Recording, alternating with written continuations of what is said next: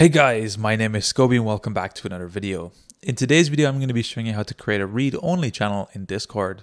This is going to be a nice, quick and easy tutorial. I'm going to be showing you step by step how to do everything.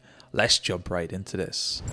So I will mention for this video we are going to be using roles to create our read-only channel. So roles are what are going to be able to separate us so we can actually segment different users. So those who can actually read can have a specific role and those who can send messages can also have a specific role. So these are things to keep in mind. Creating a role is really easy. All we need to do is click on our server name on the top left, click on server settings, and then we have role information right here. To add a role, we can simply click the plus option. I'm not going to be going over all the details of the roles in today's video. You can create it maybe admin or read only or write only, and then we can use this role a little bit later on. So once your roles are created, what we're going to be doing is creating a brand new text channel. I'm just going to be naming this read only so we can do it from scratch to show you exactly how it's done. I'm then going to be hovering over the text channel on the left here, and I'm going to be looking for the edit channel right here. From this point, what I'm going to be doing is coming to the left section, and then we're going to be coming to the permissions option. So once we get to the permissions section, there's going to be two columns that we're going to be looking at. The first is the roles and members on the left, and then the second is the general permissions. So what we're going to be able to do is segment based on people's roles, the different permissions, and the different things they can do inside the channel. So what I'm going to be doing for at everyone is read messages going to be allowed,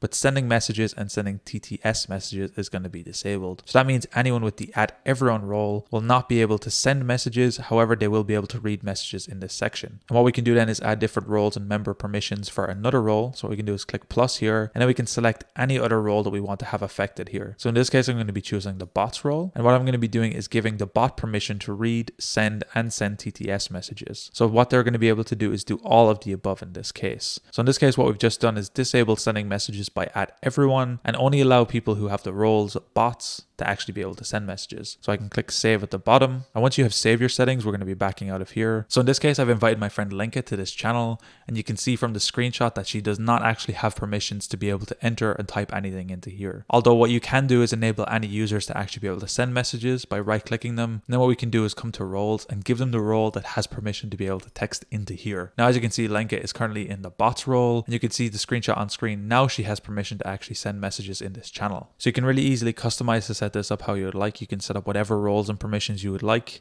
You can even give multiple roles the permission to actually text in here as long as it makes sense for your server and your needs. And it's as easy as that to create a read-only channel in Discord. If you guys enjoyed this video, be sure to drop a like. Subscribe if you're new, check out the other videos on the channel. I'm going to be leaving a link down below to my PayPal if found these videos helpful and you want to support me. Anyway guys, thank you so much for watching. Until next time, as always, keep it saucy. Peace.